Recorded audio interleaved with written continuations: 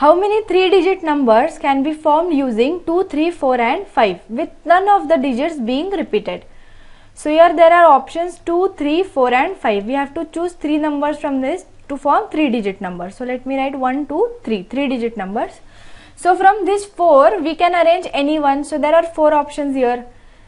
Now we can have only 3 options here because one of these has been arranged here and they have told that there is no repetition allowed. So we could only arrange 3 years because one has been arranged here already.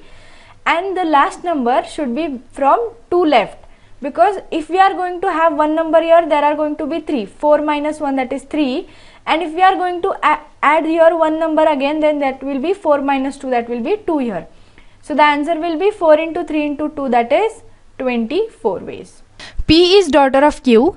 R is brother of p s is father of r how is q related to s so p is daughter of q first statement p is daughter of q Second, R is brother of P. So R is brother of P.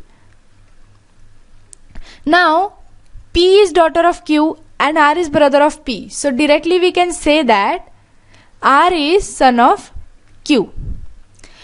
S is father of R. So S here is father of R. Here we can say again that S is father of P also. How is Q related to S? S is father, so he's going to be husband.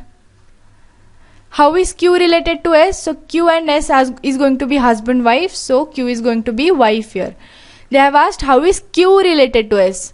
So we have to say wife. Answer will be wife here. The question consists of a problem question followed by two statements 1 and 2. Find out if the information given in the statements is sufficient in finding the solution to the problem. So among the four students of class 5, Radha, Meera, Kamla and Gitanjali who is the tallest. So again this is an example of data sufficiency statements. Meera is shorter than Radha but taller than Gitanjali and Kamla is taller than Meera. So let us write whatever they have given. Meera is shorter than Radha. So Meera is shorter than Radha but taller than Gitanjali. So Meera is in between Radha and Gitanjali. It is from statement 1 and from statement 2 they have told that Kamla is taller than Meera. Now they have asked who is tallest. From this first and second we can get that Radha and Kamla both are taller than Meera. But we don't know who is exactly taller between Radha and Kamla. So we cannot find out who is taller from both of the statements given. So the answer will be both the statements even put together are not sufficient in answering the problem question. That is D. Read the sentence to find out whether there is any grammatical error in it. So the sentence is a tie is a very important part of formal dressing for every man.